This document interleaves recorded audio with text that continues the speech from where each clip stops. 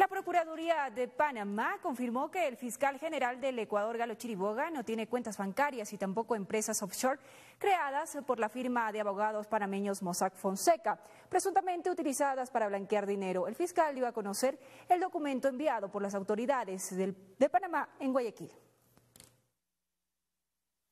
Me ha llegado ya la contestación de la Procuradora General de Panamá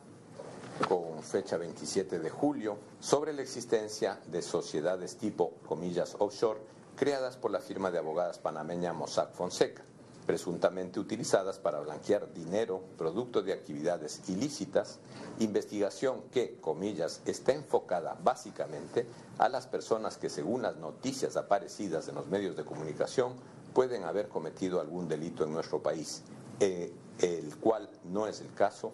del doctor Galo Chiriboga Zambrano. Por lo tanto, no ha emitido oficio a entidades bancarias para verificar si el prenombrado eh, tiene alguna cuenta en Panamá.